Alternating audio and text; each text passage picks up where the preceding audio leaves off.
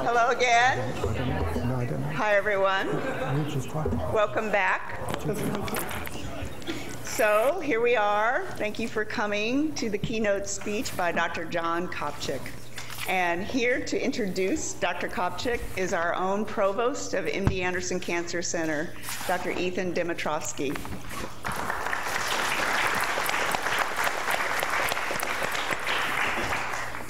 Well, good afternoon. As uh, Shelley said, my name is Ethan Dmitrovsky, but she didn't say that I, I work for Shelley. And when I'm not working for Shelley, I work for Michael.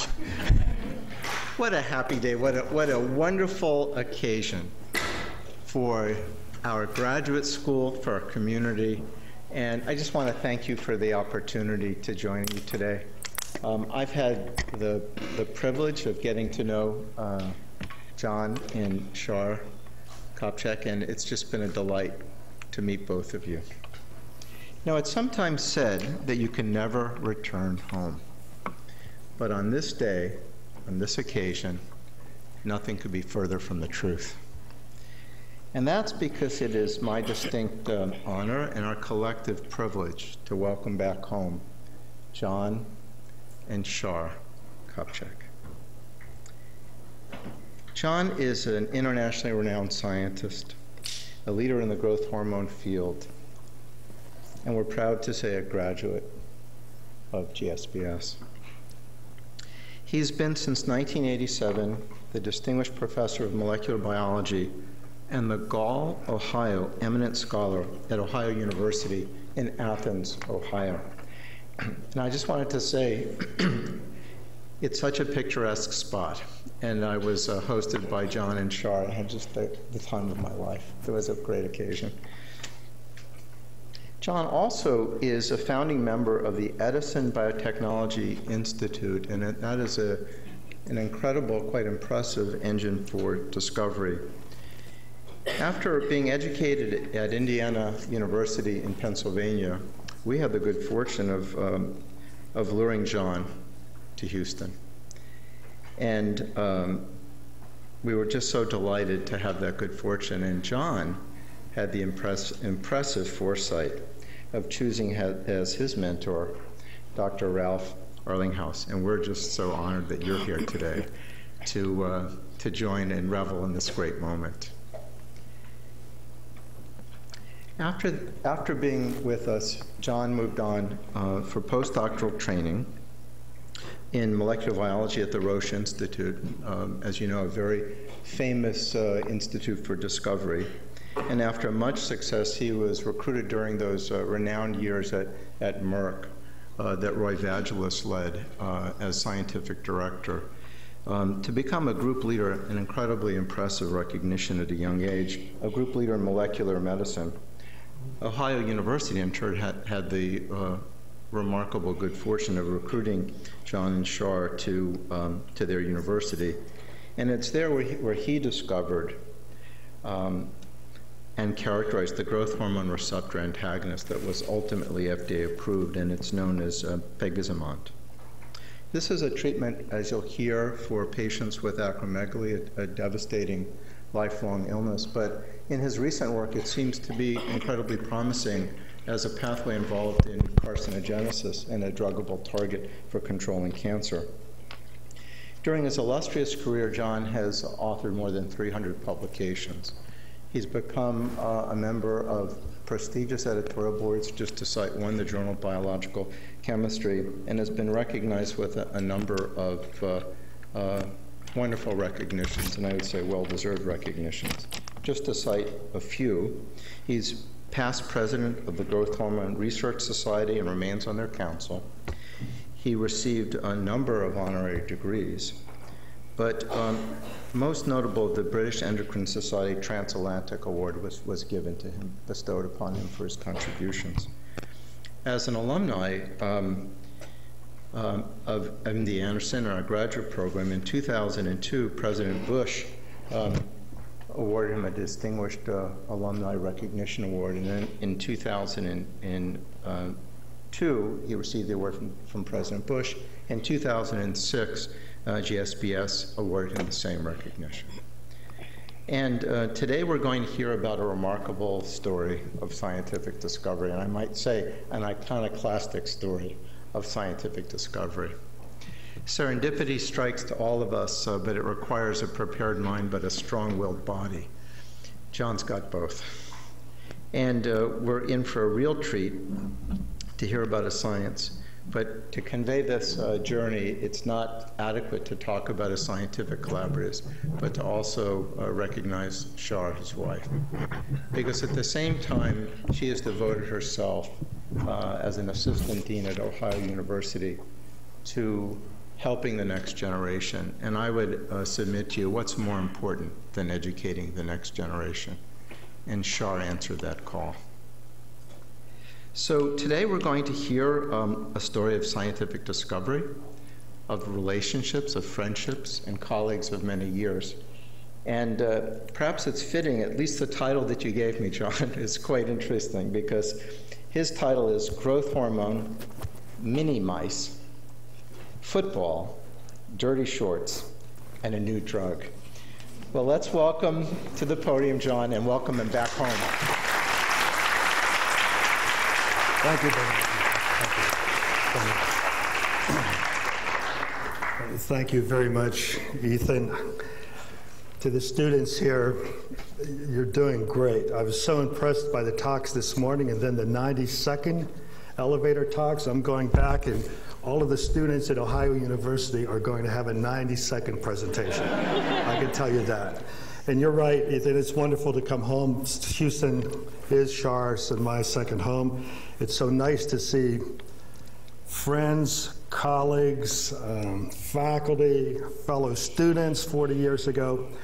By the way, 40 years ago yesterday, at 4 in the afternoon, my wife Shar reminded me we were driving in from the airport to the hotel.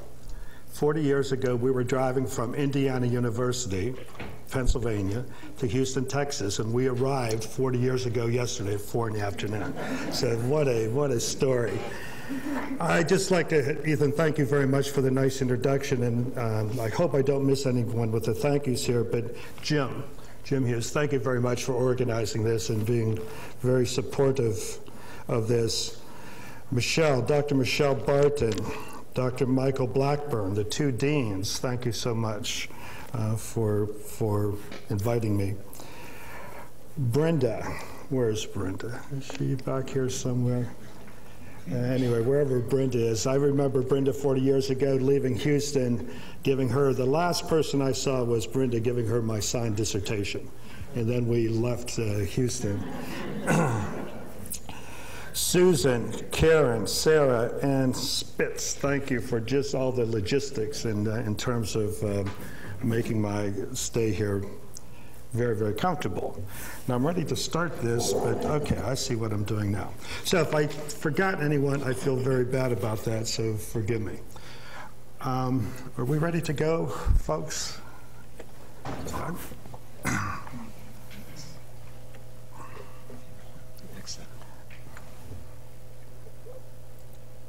It's this folder. I could do it. So I'm, go I'm going to challenge you a bit, if we can open this, ab about this title, because it's somewhat funny and you may think it's cute or you may think, what in the world is this fellow talking about?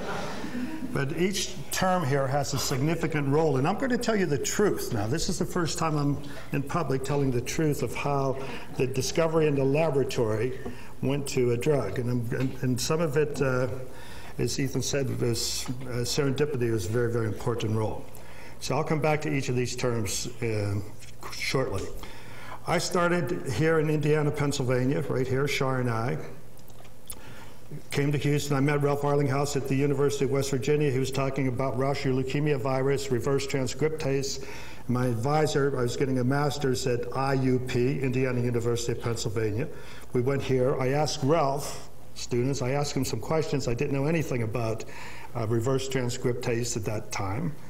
And Ralph, I liked him, and he said, "Well, did you would you consider graduate school in Houston?" And I said, "Sure." So, so Ralph, thank you for ultimately somehow getting me into GSBS.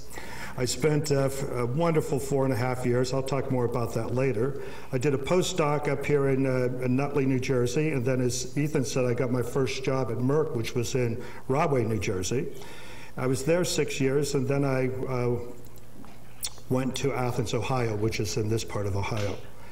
And that's, uh, I'll tell you a few stories. While in Texas, I had the good fortune to meet many people, the McMillans who are in the audience here, or, two, uh, and we've ventured all over uh, Texas. So uh, I learned to say y'all. I bought cowboy boots, I have a cowboy hat, and I embrace the Texas lifestyle 100%. Here's Ohio, Lake Erie's up here. You get um, Cleveland's in this area, Toledo, and this is the area that gets all the snow. We live down here in Athens, Ohio, about the same latitude as, as Washington, D.C., so it's quite warm, very little snow. And I invite all of you, uh, anytime, if you're in the greater Ohio area, to stop in to see us. We have a beautiful university. It's very picturesque, and this is a real picture. This isn't a postcard, so it's uh, very nice. And this is this Edison Biotechnology Institute, which played a great role for allowing us to do research and also be entrepreneurs. Ohio University embraced that. They, they, they, wanted us to be faculty members, train students, do everything, write grants, do everything faculty members do but also when the time when we think it's important enough when we make discoveries to protect the intellectual property. So that's what Ohio University had going for it in the 80s, and um, it's one of the reasons I went there. When I was at MD Anderson, this was the building. Oh, oh, I'm not sure where that building is now here, if, it, if it's even still here. And but look at the quality of the pictures. This is pre-mobile phones. So, um, uh, here's what we looked like. Uh, John, are you here? John Harper, are you on this? Richard Bartlett was a colleague, Hector Garcia, Julie Garlis. Deidre Lyons Vetter was a graduate student, Jack Love, Milton Marshall. So this is what we looked like. We were radical. We weren't as good looking, I don't think, as you guys and girls are. I have so many fond memories. We did so many good things in Ralph's lab, and I have to show you a few pictures. So instead of this being 45 minutes, I apologize. It's going to be maybe 55 minutes. I have to show you some of these pictures. We went to the Astrodome. Is it knocked down yet, by the way? No, okay. Okay, so uh, we had an outing. There's Ralph and Kathy, uh, Deidre, Shar, and me. Uh, we went to a baseball game. Uh, so big thanks to Ralph and Kathy. I mean, he accepted me, but not only that, um, he gave me his bed. So, so, our second night in Houston, we were uh, had your bed. We had we bought our own sheets. Thank you. But, and then every Thanksgiving, Ralph and Kathy would have us over for Thanksgiving dinner. So it was just wonderful. And just to show you some of the compadres, some of the lab. Oh, so and the and on the um, scoreboard, look, MD Anderson tumor virology group. So, so we were able to get that there. Uh, we partied in the, in the park. Tom Woods in the audience here. This is me. This is Link Carson. I don't know what he's doing, but uh, uh, Jim Surwitz. But that's over in Hermann Park. Uh, and here's, uh, you know, we were close. Now, I'm not necessarily this close. And this is Valerie Ng. She's now an MD, and uh, she didn't want to participate in. Uh, just a thanks to Valerie, um, and, and Deidre, Jackie's in the audience, Jackie Horn. Um, Here's the four of us, um, three really good looking ones. Jackie, you were cut off this picture, and sorry about that uh, picture, but we didn't take too many pictures. And here's another group picture. We had lots of fun.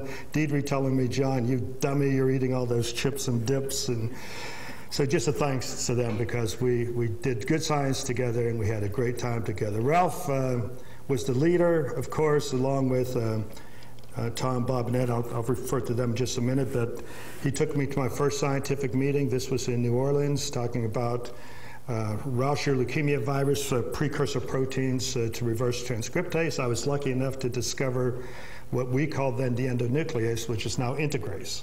So, so it was uh, during this time. We, you remember that, Ralph? The endonuclease integrase? Yeah. And here's some other pictures. Here's Tom, Bob Nasso. I got to thank him, and Ed Murphy. They were upper um, postdocs and, and uh, junior faculty. And here's another fellow, Ron Brown. I don't know if he still comes around, but he's an alumnus of GSBS and a very, very good fellow. And special thanks to, we went to a few games, but to Shar, my wife, and my best friend. So um, I think that's all the pictures I have. Oh, no, so this was in 2006. Now, now the cameras got better, you see. So, so these are some pictures from the very nice award that uh, you bestowed on me for the GSBS alumni, and previous to that, the MD Anderson alumnus. So um, here's Jackie. Here's a better picture of you, Jackie. Tom. And Deidre, unfortunately, couldn't be here. Okay, I think that's it. Thank you for indulging me to allow me to do that. Uh, it gives me chills. Um, I'm going to tell you the real story about the, the science in our laboratory, a little bit about the science, and then the process of taking that scientific discoveries uh, and the role that serendipity uh, played in the discovery of going from a compound to a drug, the importance of intellectual property, and touch a little bit on ethics. Okay? So it's going to be a scientific presentation, but there'll be um, some, some important stories. Now, for whatever reason, people are fascinated by uh, how big you can be and how small you can be and still be a person. And here you have uh, the Queen of England in 2014 commissioned what turned out to be the tallest fellow in the, in the world, um, uh, Sultan Kösen, um, two and a half meters, and the shortest person in the world. And he's 21 and a half inches. So, so and, and, and much of this stature, this growth stature, is, is directed by this molecule, growth hormone, which, by the way, I'm going to talk, you hear about growth hormones. Many, many hormones affect growth, but there's one that's premier importance, and that is one molecule called growth hormone. That's what I'm talking about today, not all the other growth hormones. By the way, this fellow, Sultan, is on our drug. You'll see the drug doesn't, it doesn't make you grow smaller. It stops the progression of you growing larger. So, okay, so what does growth hormone do? Well, growth hormone is involved in growth, as the name implies. If you happen to be a female lactating, and if you up the levels of growth hormone, you'll increase milk production. Thus, it's used for dairy, by dairy farmers in the U.S. to increase uh, milk production. It has metabolic and differentiation effects. I'll touch on a few of these.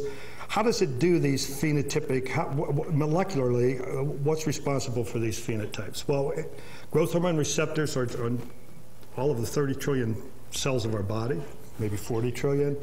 Uh, but it's many cells and many tissues are affected in different ways by growth hormone that when they all in concert come together with their activities result in growth and that uh, was the what our laboratory is still trying to understand the differential effect of growth hormones on different tissue can you hear me in the back all right is everything all right back there thank you so when i was in ralph's lab when the students were in my lab early how would you learn about something, in this case, growth hormone? Well, you go to the library. Well, since the internet came around, you don't need to go to the library anymore. You can Google it. And this was uh, Google of growth hormones, proven scientific information uh, about 10 years ago. Supposedly, growth hormone does all of this. Hair regrowth? No. Enhances activities of all other hormones? No. In fact, it inhibits the action of insulin. Increases memory retention? No. Removes wrinkles? No. Enhances uh, sexual performance? No. If it did all these things, I'd be injecting myself right now uh, with growth hormone. By the way, Michael, could you turn off this first bank of lights? I don't know where you went, but um, if you could be, I appreciate that. Thank you. Thank you very much. So be careful what you Google and what you read because it's not necessarily the truth. So you have to be very careful. So, so we still use the library. As in most medical conditions, you could have a too much activity or too little activity. And when that happens with growth hormone, when you have hyperaction, that is, in this case, too much growth hormone due to a pituitary tumor that secretes growth hormone. As a child, this individual got it and it was not treated, so he became an acromegalic giant, similar to that sultan from Turkey that I just showed you that picture. So that's a hyperactivity. On a hypo side, low levels of growth hormone. If you're growth hormone deficient, either by a genetic mutation, you rattle your pituitary by a, a, traumatic brain injury such that growth hormone is no longer secreted, you're growth hormone deficient, if that happens as a child, and if you're not treated um, with growth hormone, um, uh, you'll remain dwarf. So those are the extremes. Now, the second, uh, now to treat these um, uh, children with uh, primary growth hormone deficiency, um, it, the, the treatment is a protein, human growth hormone, derived, it used to be derived from the cadaver, pituitary glands of cadavers. Well, in 86, it was the second recombinant DNA product, that is, it was synthesized via the cDNA, such that it's now, uh, again, the second biotech product used called recombinant human growth hormone. Injectable is a protein. You can't take it orally. Once a day injections. and why do I say that? Well, I'll come back to that. So growth hormone, this is a cartoon of how it works. This is the uh, hypo, part of the hypothalamus and the pituitary, the anterior pituitary. Growth hormone secreted by the somatotrophic growth hormone producing cells. It's episodic in its uh, uh, secretion during the day. It binds to cells on various uh, uh, uh, tissue and does different things. In the kidney, it promotes fluid retention, degrades fat, builds muscle, uh, promotes gluconeogenesis by the liver, and promotes bone growth. So, how does one molecule do all that? That's why I'm in this business. So Again, I'm trying to, we are trying to understand that. One of the genes that's activated and one of the proteins that's um, secreted by various cells in response to growth hormone is insulin like growth factor 1, IGF 1. Growth hormone has a serum half life of about 24 hours, IGF 1 about two days. So it's very difficult to quantify growth hormone because you may bleed the individual at this point, they'd have high growth hormone, or you could bleed that person at that point and they'd have low growth hormone, and yet it's completely normal. However, IGF-1, if growth hormone is high, IGF-1 is high. If growth hormone is low, IGF-1 is low. I'm going to talk about um, a, a, derivative of a natural molecule called somatostatin. This comes from the hypothalamus. It acts on the pituitary cells to downregulate growth hormone. I'm going to refer to this in a little bit. I teach this to the medical students, and there's all sorts of feedback loops here. I'm, I'm not going to bore you with that. And the medical students memorize this long enough to pass the exam or the boards. And then if I see them six months after my lecture and say, hey, Joe, what does growth hormone do to the kidney? They'll look at me like I'm crazy. so we had to come up with a better slide that will help them remember this in terms of growth hormone's action, for example, on adipose, muscle, and bone. And that's shown here adipose, muscle, and bone. A growing pig, if you increase the concentration of recombinant porcine pig growth hormone, daily injections for about two months, you can see a decrease in fat, an increase in muscle, and an increase in bone. Think about that. I'll, I'll pretend like I'm the 92nd thing right now. Think about that. well, one molecule has both catabolic, degrading fat, and anabolic, building muscle, building bone. One molecule doing two very, very different metabolic things. So, how does it do it? And again, we're still trying to understand that. But it's this, uh, this issue of decreasing fat, increasing lean, that has led to misuse and abuse of re human recombinant growth hormone, the drug. The drug is used for growth hormone deficient children. That's the indication. But unethical doctors, will come to that, can't prescribe it. For athletes, to give them less fat and more muscle. Estimated, this is way back in Beijing, the, the World Anti Doping Association published the numbers here. It's about 50% of the athletes were thought to be using growth hormone. Now, they don't, we'll see periodically reports of this in more recent uh, Olympics, but this was the height of the um, misuse of growth hormone, at least. Not all performance enhancing drug, but growth hormone. How do they know 50%? Well, in that list of uh, actions of growth hormone I gave you, there, there wasn't a, a little um, bu bullet point saying growth hormone makes you smart. That wasn't there. The janitors in the Olympic Village found vials, recombinant human growth hormone. They found needles in the garbage can. When they divided the participants in the Olympics by the doses, the number of doses in the vials and the number of needles, that's how they calculated 50% of the athletes were using it. And again, it's hard to detect and it's um, Unlike uh, anabolic steroids, it's identical to natural uh, human growth hormone in your body, so it's very difficult to detect. Now, the latest, um, you, you, hear in the lay press who's been implicated in using growth hormone, many athletes, but Alex Rodriguez is the most famous one uh, several years ago, and implicated. He's not been convicted of using it, nor did he admit it. So I talked about ethics. Is it ethical for doctors to prescribe this human recombinant growth hormone and for athletes to take it? Of course not. And yet it's done. Now, uh, and, and, what about not only that, there's a whole industry about substances that are called growth hormone that really aren't growth hormone. Um, human growth hormone is a protein that needs to be injected. Well, you, you will see advertisements like this human growth hormone makes you look and feel 20 years younger. This is a full page ad. You've seen them on airplanes. This is from the Columbus Dispatch. Makes you look and feel 20 years younger. It can't be called recombinant human growth hormone because it's not, that's not what it is. It's salts and amino acids in a, in a sugar in a vial that they sell. It's called HGH Gold. What does this say? It says six months to a younger you, this advertisement. Scientific evidence is overwhelming. There's no science. It says that growth hormone as we age goes down, so there's no science. The substances in that vial are grass, not marijuana. They're grass, generally regarded as safe. And if you sell something that's generally regarded as safe, the FDA doesn't patrol it. But here's what got me. Um, read what an ex- baseball player says. He says this stuff is great. If you don't believe that, read what an expert says. This expert, whoever he or she is, says it's great. And here's really the clincher. On this day, it was $50 a bottle instead of 175 And for you and you only, they would throw in four Ginsu knives to make some French fries.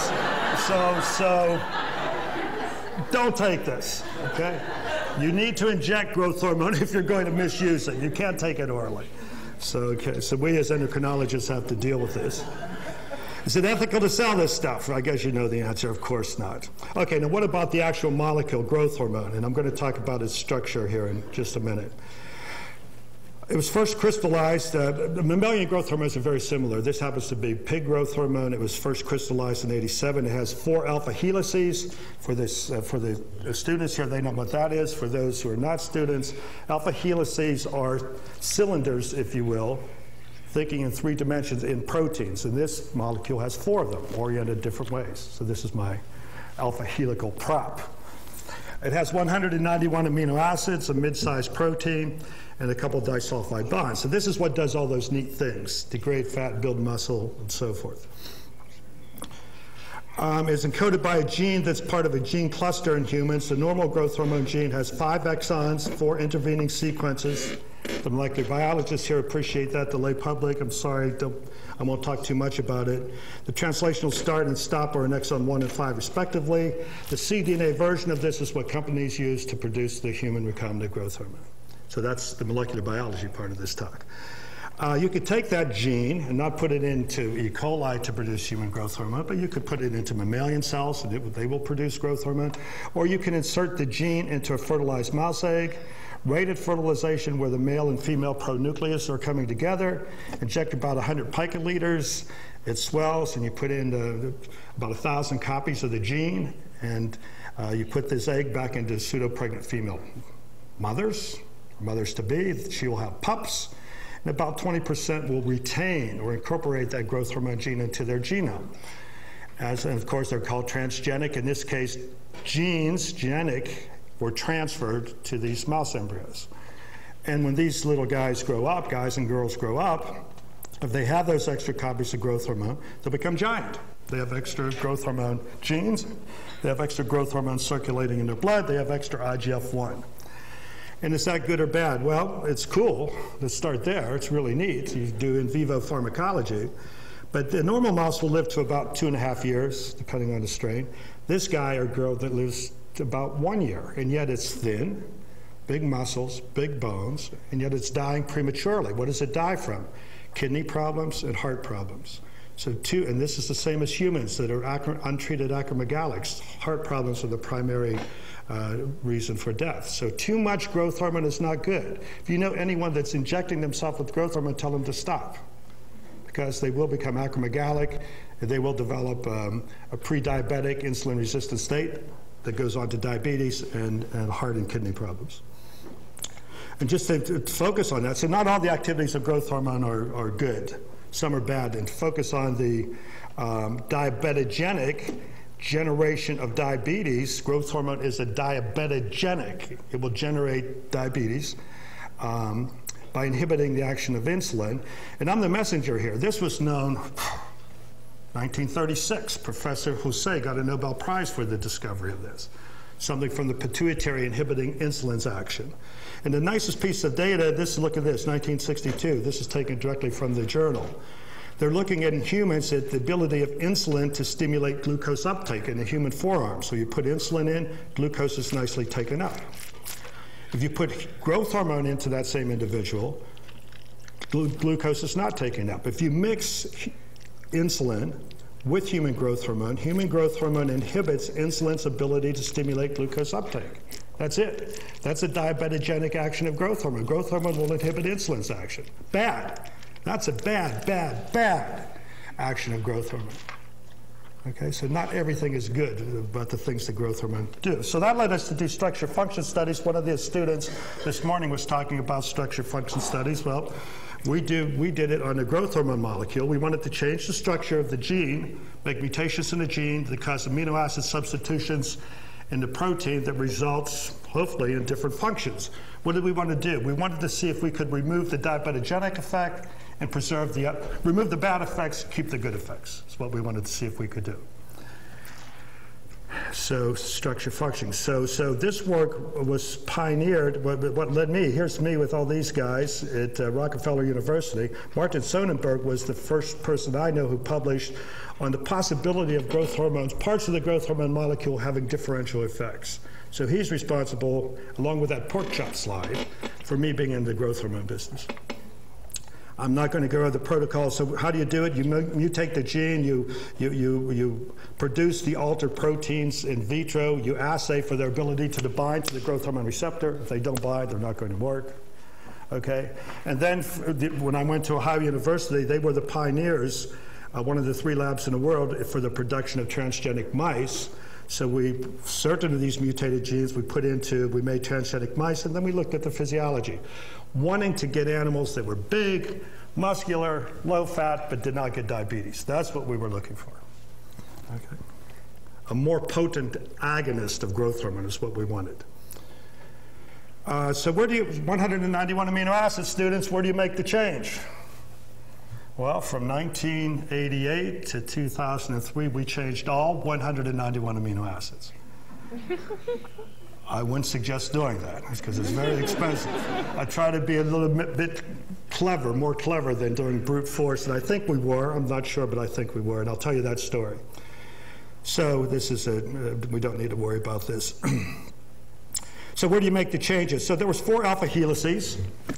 At that time, still, at times, for peptide hormones, alpha helices may have biological activities. Growth hormone has at least four activities. Wouldn't it be nice if each alpha helix would possess the ability to induce one of those activities. Wouldn't that be remarkable? So I had four original students, and I assigned each of them to work on helix one, two, three, and 4.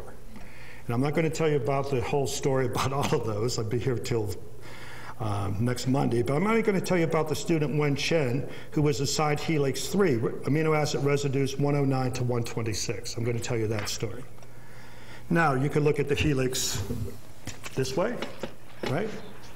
The amino acids are going around, or you can look down the barrel, so the amino acids are going into the wall. And when you do that, uh, that's called the Edmondson wheel projection, looking at it this way, right? So you put on your engineering caps, three dimensions, we're thinking. So residue 109, by the way, we studied bovine growth hormone first for the endocrinologists here. We know that Human growth hormone has prolactin activity actions, whereas bovine growth hormone doesn't. That's why we started with bovine growth hormone. Residue 109 is here, 110 tyrosine, 111 glutamic acid, 112 lysine. So these residues are going into the wall. We're looking at the 3D structure in two dimensions. You see, you notice some yellow and blue amino acids there. The ones in white are conserved. Residues are conserved amongst all these species, pig, uh, cow, sheep, humans, monkeys, chickens, and so forth. What's the question? Where do we make the amino acid changes? The DNA level, the codon level? I don't know. But maybe Mother Nature is telling us something. Maybe those residues that were conserved through evolution are important. So maybe the ones in white are the ones we want to target.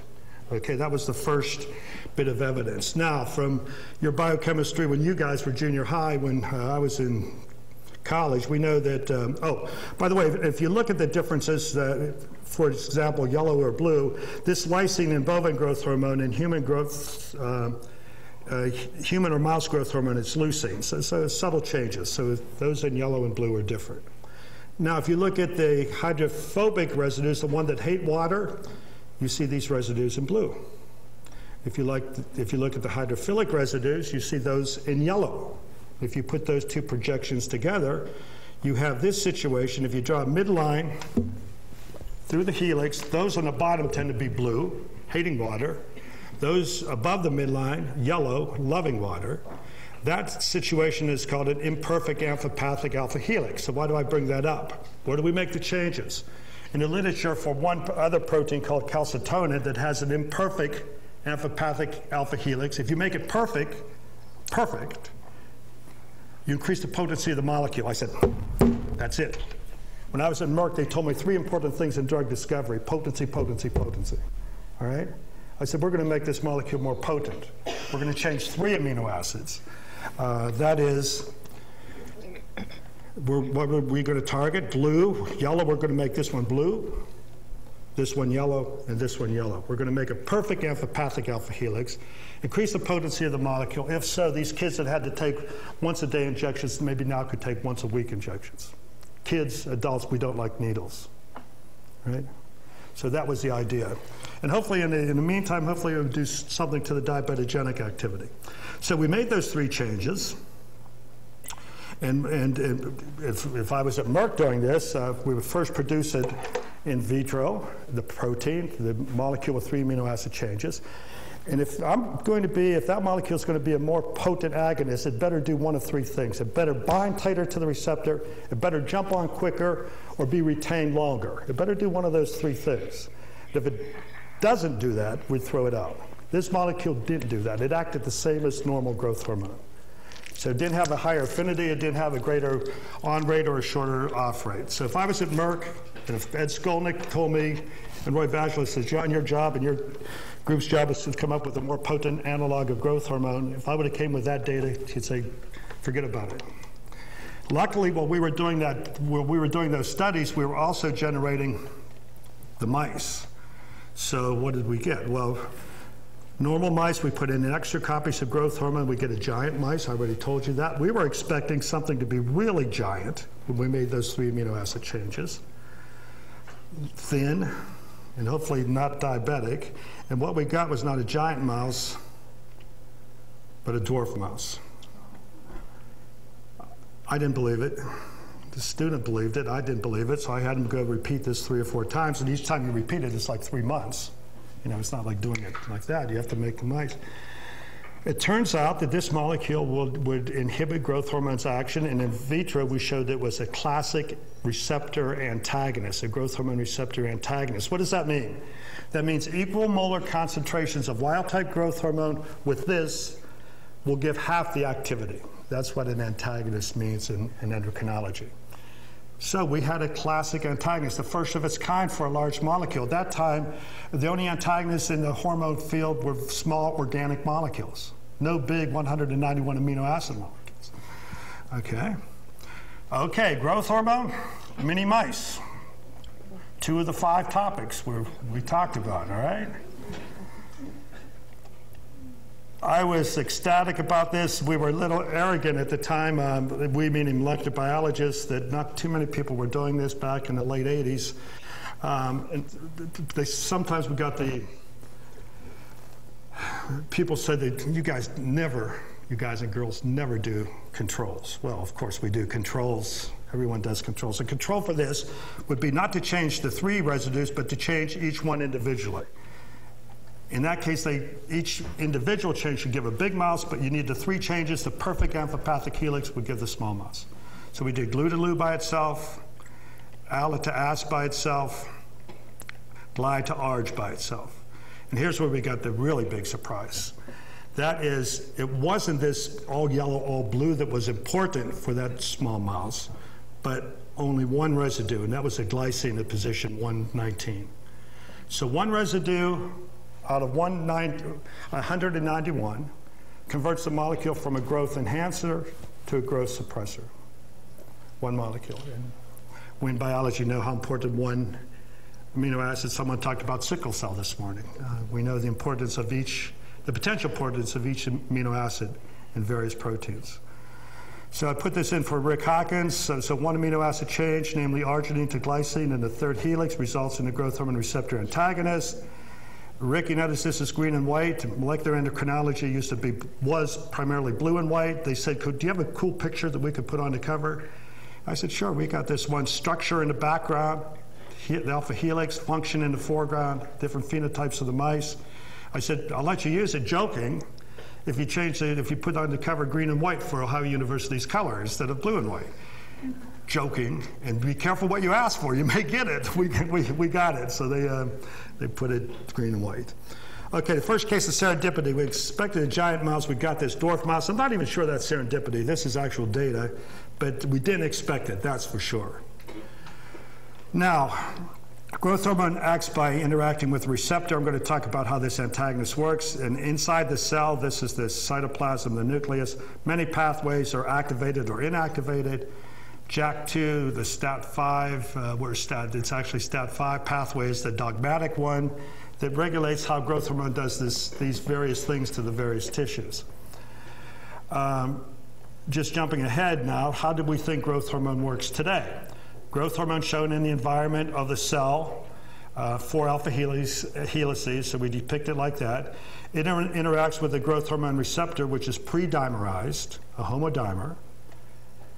And it, you have to imagine this, the molecule growth hormone returning to the outstretched arms of the receptor. Return is the important word here. Return to me. We have fun. That is growth oh, hormone. So binds to two sites. There's two sites on growth hormone that bind to the receptor. Inducing proper dimerization oh, and intercellular signaling. Get ready now. You awake? Get ready. Get ready. The dancing receptors, the pre-dimer. Growth hormone. Two sites.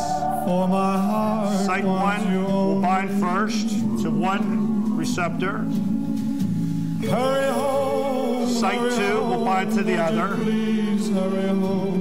And notice what happens here. When this happens, the receptors turn to bring together the JAK2s for the beating hearts. If I hurt you, I'm sorry. That's a dogmatic view of how growth hormone works. And the reason I bring that up, Forgive the idea is how does the antagonist work now, right? Okay, so, so now doing some graphics a long time ago, this is the helix on its side. This glycine, you all know, well, at least the, the students and faculty here know that glycine is the smallest amino acid. So, so it, along with one helical turn away in both the N and C terminal directions, are responsible for a cleft in the molecule. That's what that glycine is. Remember, we changed gly to arg. Okay? Now, so when you when you change it to ARG, you fill the cleft. So this one is in normal in body, makes us grow, or is responsible for promoting growth. This one inhibits growth. One amino acid change, we think it's this cleft that we postulated that, that was very important. And then to do some uh, more um, molecular modeling, uh, here's the two extracellular domains of the receptor. They're identical, by the way, but just so that we could see the difference. One is green and one is red. Growth hormone is blue. This is that glycine, and in the crystal co-crystal structure, you see it joins very tightly or, or abuts a tryptophan from the receptor. And when, therefore, remember, when we change this glycine to arginine, we get an antagonist. So Wen Shen, um, he replaced that glycine with all other 17 amino acids. And if glycine is substituted with any amino acid other than alanine, then a growth hormone antagonist is generated. What does that mean? Glycine is a pure agonist. You put alanine there, it's a pure agonist. What's the similarity between glycine and alanine? The R group, the side chain, one has hydrogen, one is a methyl, the two smallest amino acids. Anything bigger gives an antagonist. So there's some topology, there's some geography going on here. Okay? Uh, so that was the data. Um, And then the, for the growth hormone people here, the growth hormone receptor, growth hormone antagonist complex, many said growth, the growth hormone antagonist inhibits dimerization. Now, the, the growth hormone receptor is pre-dimerized. It inhibits proper uh, dimerization. The growth hormone antagonist will form a, a non-functional dimer. Well, how does that work? Now you, you're probably expecting some music here. Uh, the growth hormone antagonist, one amino acid change in the third helix, interacting with the preformed dimer.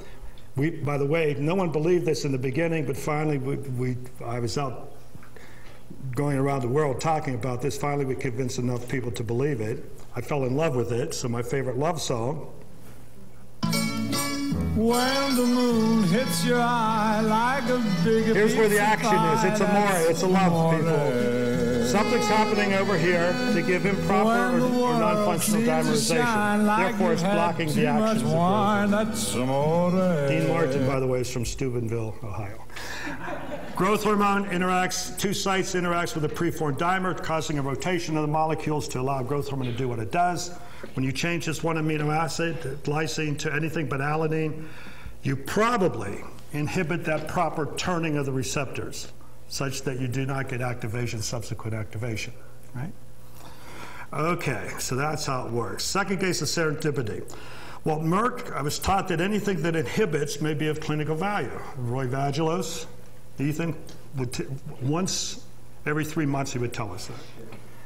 And he's the one that uh, invented uh, or discovered HMG CoA reductase inhibitors, statins. So, so that was Roy Vagelos and his group's uh, claim to fame, one of the claims to fame.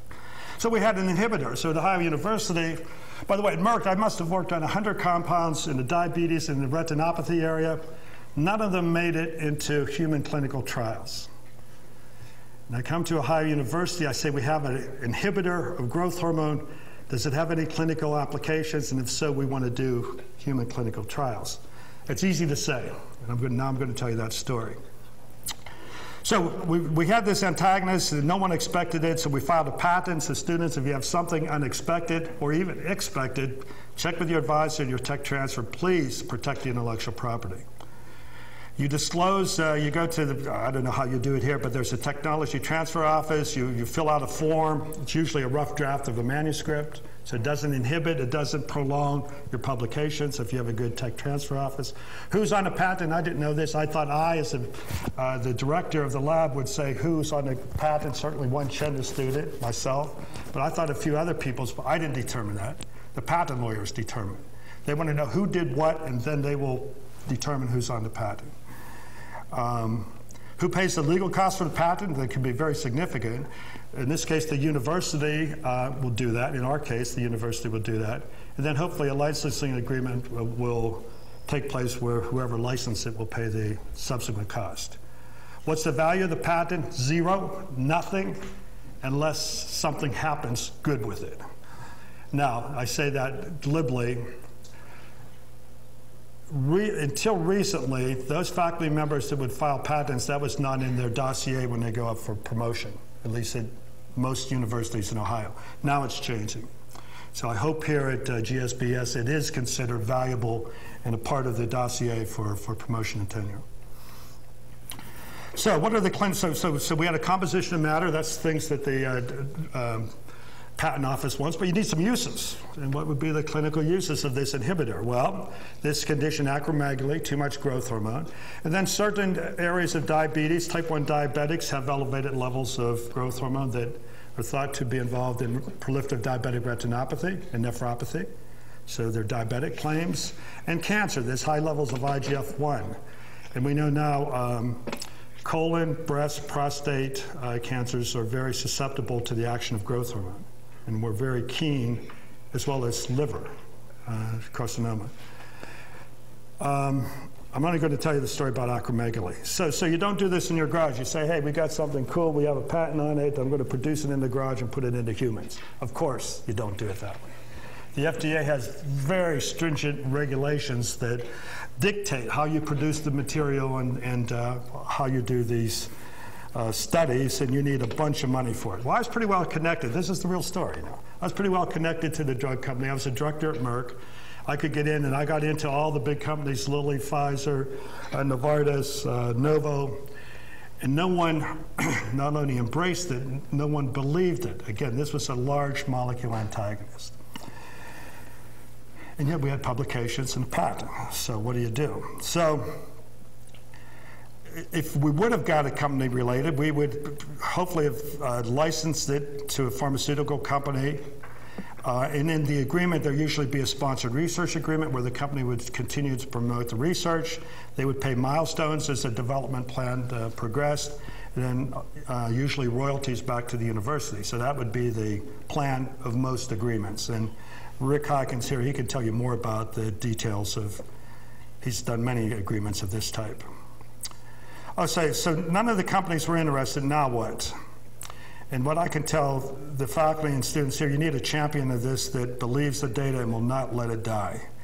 And I was just so bullheaded, although a depressed bullheaded person, that I would not let it die. Joe Dean, assistant football coach um, uh, at Ohio University. He and I would work out together. Joe has passed away about 10 years ago. I lift weights and play basketball. And periodically, as you talk, you know, how you doing, John? Oh, we got this good compound, but none of the companies will, will develop it. And then he'd tell me about the football team, and uh, we became very good friends. How does football enter into it? Remember, growth hormone, mini mice, football. Okay, he said, John, why did you see uh, ex alumni who played football here? His name's Rick Hawkins, right there. Uh, in 1969, this was his picture, defensive halfback. His claim to fame, him, this is him talking now, is being in the defensive backfield when, when Ohio University played Penn State. And if you know the name Franco Harris, Franco Harris ran over him. So that's, that's his claim to fame. Very good football player. Joe Dean said, um, John, why don't you give my old friend a call? He's in the drug business. Rick could tell you his own story, but basically he went from Ohio University as a biology major. He worked in the pharmaceutical industry, learning about preclinical and clinical trials. And this is me talking now, not him. He said, There's so much waste in these large pharmaceutical companies in doing these clinical trials, I can do it better. He formed a company, uh, and a very successful company uh, that uh, I believe, Rick, in 1982 it was sold, 1983? Yeah. And it was right at that time that when he was selling that company, I said, Okay, I'll give Rick a call. I said, Give me his number. So Joe wrote it out on a post it. We were working out. I put it in my dirty shorts.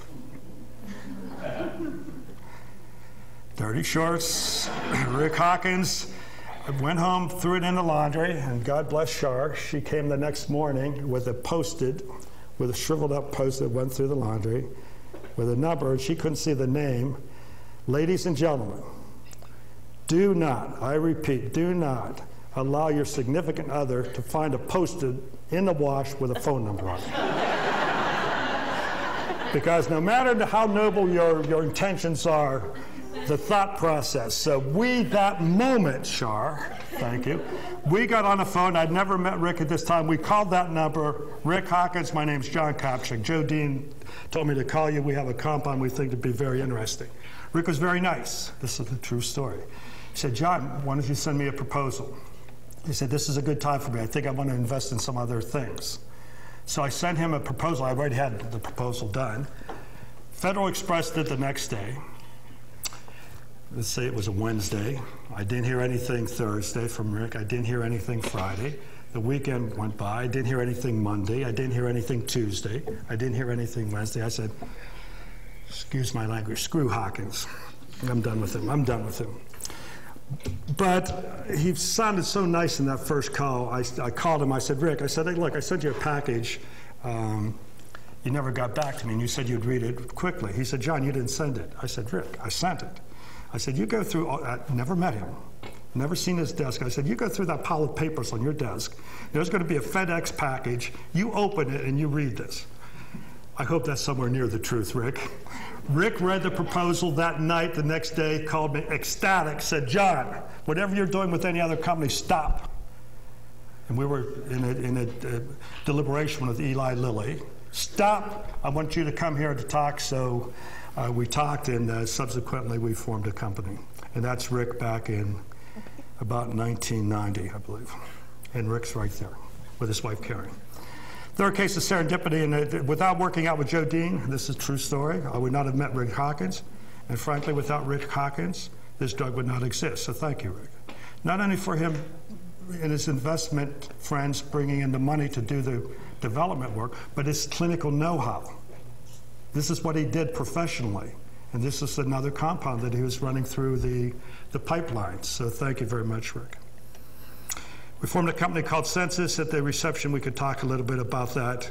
Here are some of the players. Bob Davis, who's in the audience right here. Um, uh, Bill Bennett uh, from Austin. All these, Austin, Austin. These are friends from, from Athens. Um, we ultimately, Pharmacia, it was then the, Swedish, the Swedish company, bought Census. And these are some of the folks uh, uh, from, along with Bob from Pharmacia, who went on to complete the uh, preclinical, uh, I'm sorry, uh, Pharmacia, the, the phase two, three, and the registration of the uh, product, along with help from Rick and Bob and the rest of the team. So thank you guys. And the rest of the team was John Scarlett, Chip Scarlett, who Rick hired, and this woman wanted to get to know us so much, Karen, that she actually married Rick to get to know the players and senses. Congratulations on your, Karen's in the audience too. So it's so nice for you guys to be here. That's the real story, folks. That's it. Okay, so now there are problems with an antagonist. We'll finish up here in the next few minutes. If you're going to be a good antagonist of occupied receptors, you want to have a relatively long half-life. Growth hormone, I told you, had a half-life of uh, 15 minutes one amino acid change, it still had a half-life of 15 minutes, it would not be a good uh, antagonist. The second problem is we change one amino acid, so, so there's a possibility of neutralizing antibodies to these form. So, um, so a short half-life, uh, antibody formation. Luckily, again, serendipity plays a role here. A process was known in the literature called pegylation, whereby adding sugar molecules chemically, you can increase the size of the molecule, that retards kidney filtration. And when you do this to the growth hormone antagonist, you increase the half-life from 15 minutes to 90 hours. So aha, now we're talking. Now it can occupy those receptors to block the action of growth hormone. And it, it, formally, at least uh, hypothetically, it could inhibit the immune system from recognizing that one amino acid change, since we had these bulky side groups. So it is pegylated. And just to take, uh, luckily, as I said, a relatively easy solution for extended serum half-life had already been developed. So in my opinion, this is my, our fourth case of serendipity. If we had to develop that pegylation technology ourselves, we'd still be working on it. So, so it was there, and we used it. And Rick licensed this uh, from, from the company that could do it. So the compound is called pegvisomant, peg for polyethylene glycol. It has several amino acid chains. I'm not going to talk about the other ones, but it has four or five polyethylene glycol moieties. The amino acid changed to glycine. It's to uh, lysine in the, in the drug. It binds to the receptor with a good affinity. However, uh, it inhibits proper functional dimerization. Um, and here's the amino acid sequence, amino acid 1 here, 191 here. This, this 120 position is normally glycine. You see it's now lysine. You see the polyethylene glycol groups, and actually this uh, uh, uh lysine is actually pegylated also. The advertisement uh, for it, the brand name is called Somavert Pegvisomant for injection. This is the artist's description. I only bring it up to show you what they intended. This isn't my um, uh, depiction, but growth hormone pre-dimerized receptor here interacting with growth hormone, one growth hormone molecule, two receptors, two different sites. They think pegvisomant looks like this. It occupies the receptor, but it does something, it perturbs the receptor. So that's how it's advertised. Uh, so the clinical uses, so I'm just going to touch on acromegaly, not the diabetes and cancer story. So acromegaly, what is it? Acromegaly comes from the Greek acros, meaning extremity, and megaly for great. Three brothers here. This individual developed a pituitary adenoma as an adult. Uh, secretes too much growth hormone. You see, you know, he's done growing. He's past puberty, but he did get more muscular, thin. Okay, coarse skin. Uh, the epithelial cells of his throat is expanding, so he'd snore at night probably. And if left untreated for 10 to 15 years, he's going to die from uh, cardiovascular problems primarily. Very similar to those mice that I talked about. Um, Now, these people will have increased growth hormone due to the pituitary adenoma, which result in high circulating levels of this IGF-1, which is a potent growth factor. Now, don't ask me why this is true, but this fascination with growth. I know four adult endocrinologists in the growth hormone field who, when they retired, they've written articles or books asking the question, who has been an acromegalic giant in the history of the world? This fascination with growth. Max Thrax, the Roman Empire, you know his coarse facial features, big head. He was documented to be a giant. They think he was an acromegalic giant. There's several forms of gigantism. David and Goliath. David, the normal, the king, uh, the, I think it's before he was king, he snuck up, that's the key word, snuck, if I can use that term, on Goliath the giant. And what did he do? He took the slingshot and threw the stone and killed him. Why do the endocrinologists think he was an acromegalic giant? Okay, I'm going to challenge you that. i will answer that in just a minute. Most famous U.S. Uh, acromegalic individual is Andre the Giant, lifting four women here. Notice that the short lifespan, even when treated sometimes, but he was primarily left untreated until uh, Sultan uh, Kösen of uh, uh Turkey. Uh, this was the largest acromegalic giant in the world, and these are often called gentle giants. And every I've had the fortune of meeting many of these patients, and all of them, bar none, are very, very nice people. Now I don't know if growth hormone makes you nice, but they're exceptionally nice. This fellow was so nice. Two dolphins in the Beijing aquarium swallowed plastic bottles. The veterinarians couldn't retrieve it. Um, um, they were going to die, so they asked him with his long arms, could he reach down and pluck out the water bottles? And he was such a nice fellow, he did it, and it saved the life. So. There's a pituitary adenoma. It's non-malignant usually. However, it secretes too much growth hormone uh, is the problem. And what's the first um, course of treatment? Surgery. If it's a small tumor, surgery cures the disease. If it's a large tumor, it does not cure the disease, and there's where medical treatment is necessary. A surgeon gave me this um, cartoon, this picture of transsphenoidal, transnasal transsphenoidal surgery. And you see this Halloween picture. Well, this transsphenoidal approach is not too much different. The surgeons go in either through the nose or upper lip, break the cranium, and hopefully pluck out the tumor. And again, if it's a small microadenoma, it works. They're very good. If it's large, it doesn't work. So, so there's uh, use for medical treatment. Here's a large, normally, MRI of the pituitary of an acromegalic individual. Normally, the pituitary would be this big. Here, it's very big. This is brain surgery, that, although you know these are the carotid arteries, so the surgeon has to be careful not to nick the artery to bleed to death. And here the surgeon tried to remove it, and he, he or she, I'm not sure who it was, only got that much. And about a year later, it grew back. Now, back to David and Goliath. David snuck up on Goliath threw the stone. Why do they think Goliath was an acromegalic giant? You notice these long, large tumors, macroadenomas, they can compact this structure here, which is the optic chiasm. And one of the first hallmarks of acromegaly if left untreated, is a decrease in peripheral field vision. So they think that David was able to sneak up, since Goliath, if he was acromegalic, uh, large macroadenoma, he couldn't see in the periphery and throw the stone and kill him. So whether that's true or not, I don't know. It's a nice story. okay, so what about in a phase two study, and, and, 90 acromegalic individuals all went through surgery, uh, surgery, they had a big tumor, surgery was not successful. There's another drug called octreotide or derivatives of octreotide. It works in about 50% of the patients, but 50% of the patients it doesn't work on. So that's where the growth hormone receptor antagonist pegvisomant could play a role. So, so this was a, a multi-center study of, again, 90 patients, pre-treatment, all acromegalic, again, these large adenomas, all high IGF-1 levels, treat it once a day for one year, and you see each patient responded. In this case, 55 years and older, all but one responded. Patients 40 to 54, again, a broad spectrum, all acromegalic in these features, but they have very different levels of IGF-1. And here again, all but one responded in terms of uh, lowering IGF-1. That would be the clinical readout. And here are the young people, 25 to 39, again, um, all responded into the normal IGF 1 range. And there were two young people, one 16 year old uh, woman, she was already six foot five, and another 24 year old, and they responded nicely to the drug. So they stopped the growing. It didn't reverse the growth, but it stopped the growth. This fascinated me, the real story. Uh, Rick told me that, John, when we go to the FDA, we need not only biochemical cure, which I just showed you, we, know, we need some signs and symptoms of this thing's working in these patients.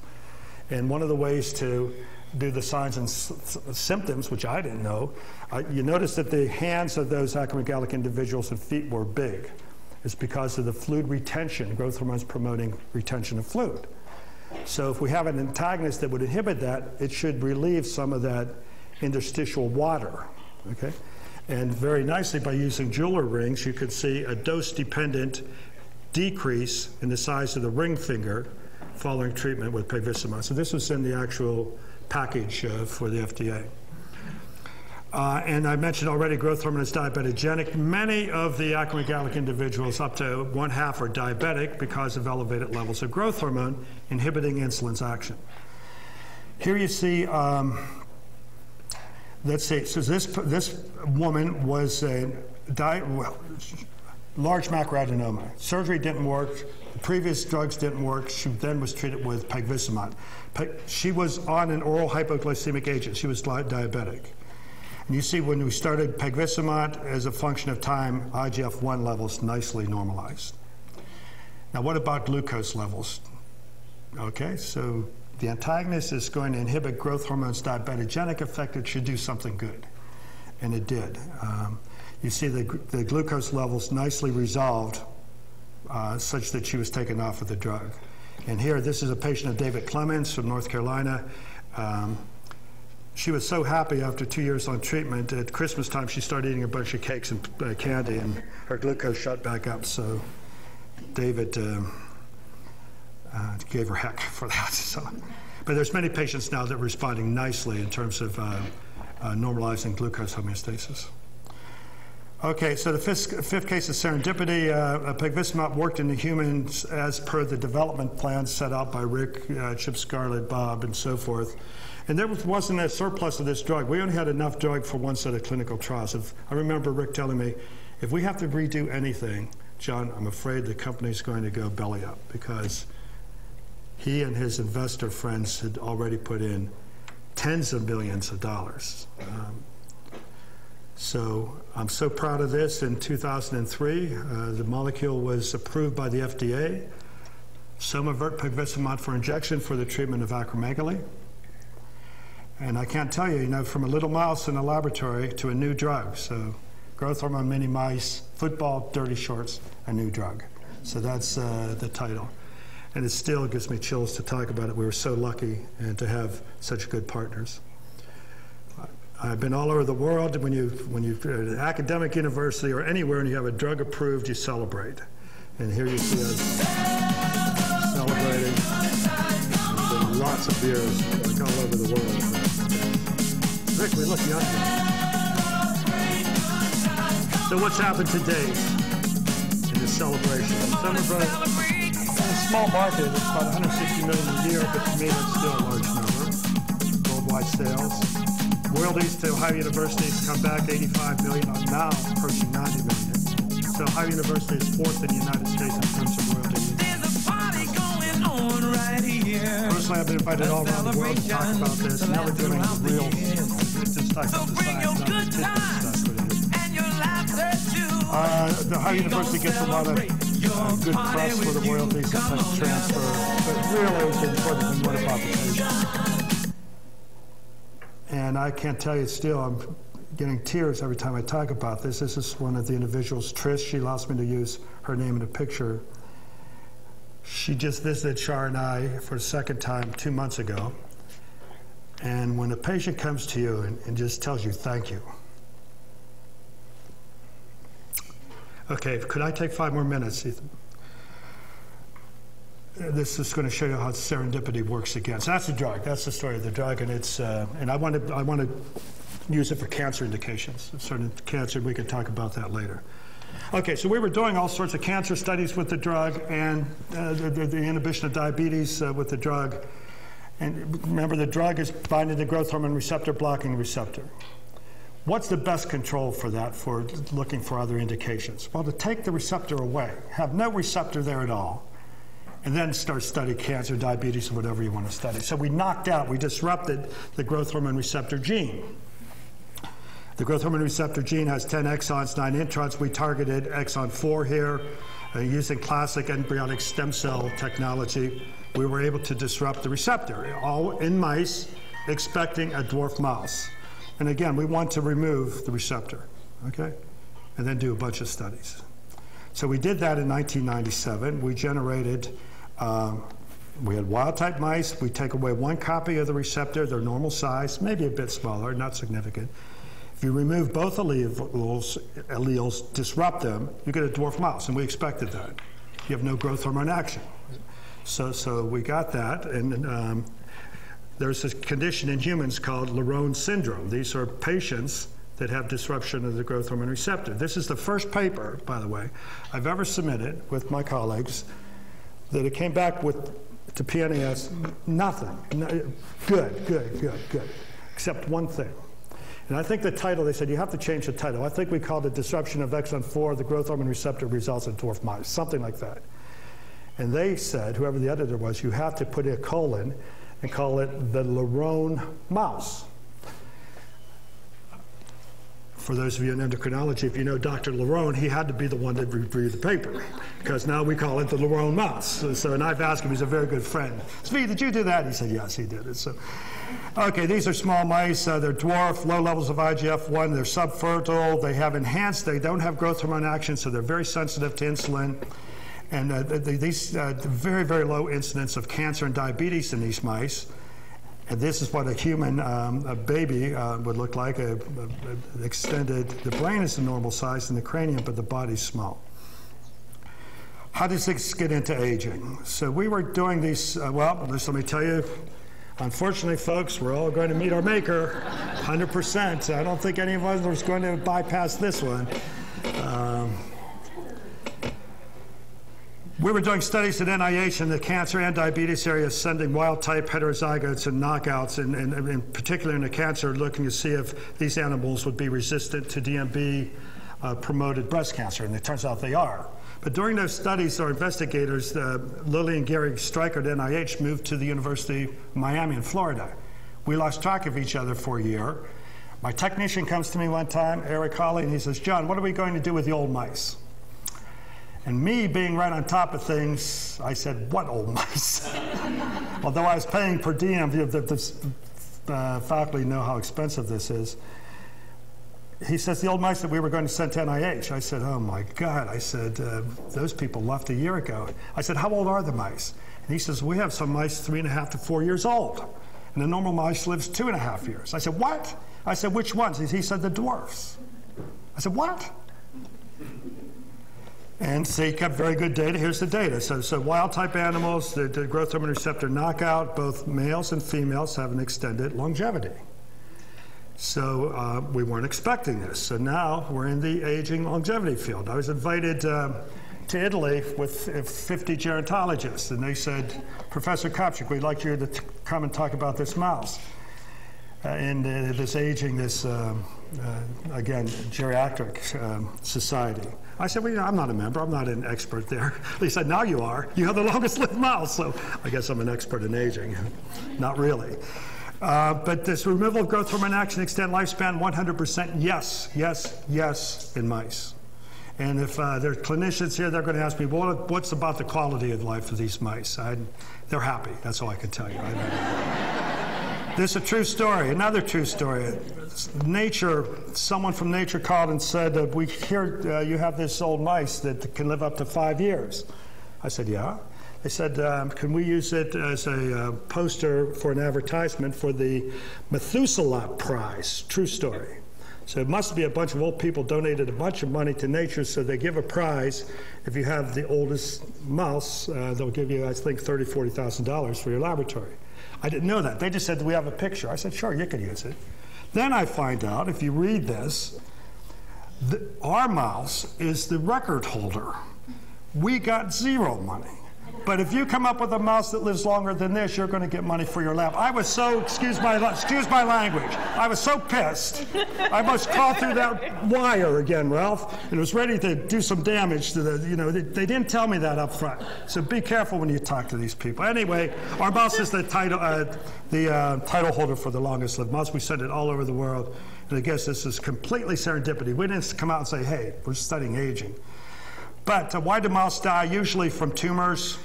And if you look at the, um, uh, the growth hormone receptor knockout in terms of these tumor criteria, they're all decreased relative co to controls.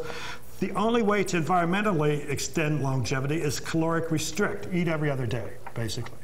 And you, maybe, certainly in C. elegans, Drosophila, yeast, rats, mice, monkeys, if you caloric restrict, you'll live longer.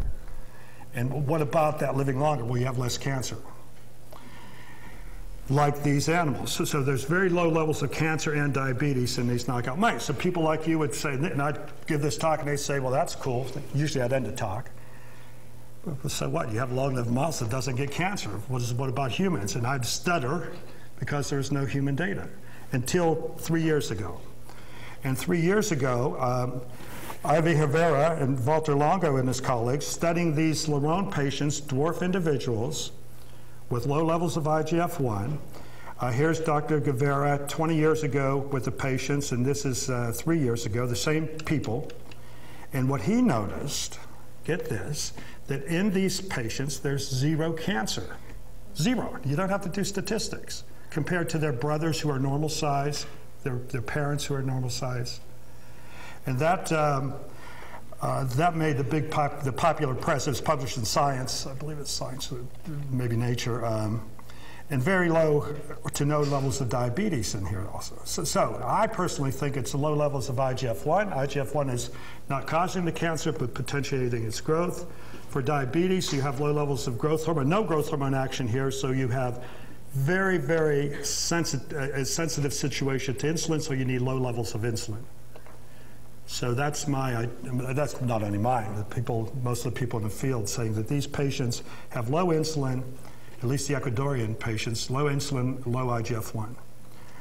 Okay, finishing up. Should growth hormone antagonists, which lower IGF-1, be used to treat normal elderly? These gerontologists, I'm at these meetings and we vote on what current drugs could be used. Metformin, one. Rapamycin, two. Growth hormone receptor antagonists, three. In fact, I didn't vote for growth hormone receptor antagonist pegvisomant, but the others did. So you have the possibility to on-demand lower IGF-1 in humans. Will that increase their health span? At least in those Laron patients, again, no cancer, no diabetes. So the supposition is yes, but there's no data. Would it be legal or ethical to do this? And here's where it gets touchy. I'm not sure. Though I discovered the drug, it's marketed. I'm not sure that I want to put into normal people. And maybe Rick and Bob will have uh, their opinions about that. So it's a very controversial area. There's more to follow, and we're going to hear more about that. And then again, is uh, this idea about growth hormone administration, growth hormone, not the antagonist administration to the elderly, a quality of life issue. Would a little bit help these elderly people? I'm not sure about that. We've learned a lot from the many mice that we have in our laboratory. Uh, this is the one that led to the drug. This is the growth hormone receptor knockout. We continue to send these mice all the world, and we can continue to bother people to give us reagents or plasmids, including today. One of my colleagues uh, working on these mice has asked Ethan for a reagent, a plasmid. Unbelievable, small world. This is our group. We have a good time. We do good science, and then Ralph's. Um, the same way he did a good science, but we have a good bunch of people and, and, we have fun. And I just want to thank all of these people here. Their names are here, pointing out um, Darlene Berryman, Ed List, Nick Okada, Wen Chen, who's a person that worked on that fourth alpha helix. People that taught me endocrinology, again, I'm a retrovirologist, are shown here. And again, the people in Ralph's lab, let's see, there's Ralph, Bob Nasso, Tom Wood, Ed Murphy, Lynn Karsh,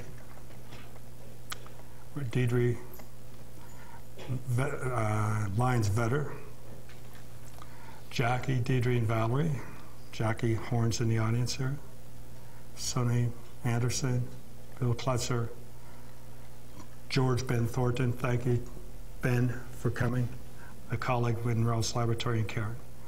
So with that, um, thank you very, very much. I know I went over time. I'm sorry about that. I had to show these pictures. I just had to do it. Thank you. Ben.